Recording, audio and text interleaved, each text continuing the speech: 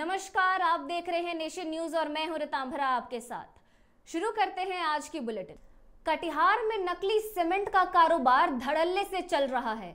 बताया जा रहा है कि खराब हो चुके सीमेंट को लेकर सीमेंट कारोबारी फिर से सीमेंट को तैयार कर ब्रांडेड कंपनी के बोरे में डालकर बेच देते हैं। लोगों ने आरोप लगाते हुए कहा कि ये सारी खेल पुलिस प्रशासन की मिलीभगत से हो रही है, जिससे घर बनवाने वालों में डर बना हुआ है।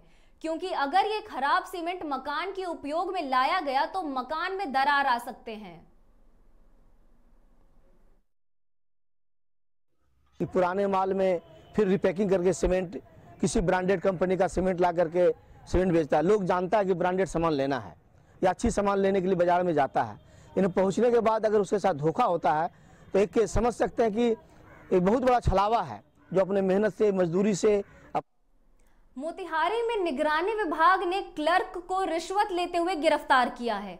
आपको बता दें कि निगरानी विभाग की टीम ने शुक्रवार को शिक्षा विभाग के डीपीओ कार्यालय में पदस्थापित क्लर्क सुजीत कुमार को पंद्रह हज़ार रुपए का रिश्वत लेते रंगे हाथ गिरफ़्तार कर लिया है।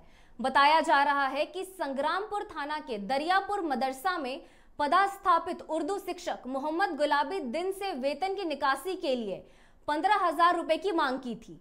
उसी क्रम में डीएसपी सुरेंद्र कुमार, अरुण पासवान की नेतृत्व में आई 10 सदस्य टीम ने उन्हें गिरफ़्तार कर लिया। मामला है कि मदरसा के टीचर गुलाबुद्दीन, उनका वेतन संबंधी कुछ मामला फंसा हुआ था वेतन भुगतान संबंधी।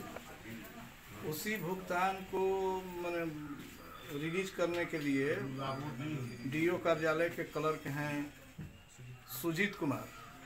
उनके द्वारा पंद्रह हज़ार रुपये न्यूज़ न्यूज़ में आएगा कहा? जी इस मामले की विस्तृत जानकारी के लिए हमारे साथ हमारे संवाददाता धनंजय जुड़ चुके हैं। धनंजय क्या कुछ अपडेट है अभी तक इस मामले में? जी ये मोतिहारी में डीपीओ कार्यालय जो है उसमें एक पदस्थापित सुजीत कुमार क्लर्क हैं जिनके द्वारा ये वेतन निकासी के लिए रिश्वत में पंद्रह हज़ार रुपए की मांग की गई थी और इसकी शिकायत उर्दू शिक्षक मोहम्मद गुलाबुद्दीन के द्वारा निगरानी विभाग को दी गई थी, जिस सूचना के सत्यापन में दस सदस्यीय टीम के द्वारा छापेमारी किया गया और पंद्रह हज़ार रूपए नगद रिश्वत के साथ क्लर्क सुजीत कुमार को गिरफ़्तार कर लिया गया है। जी, तमाम जानकारियों के लिए शुक्रिया, धनंजय।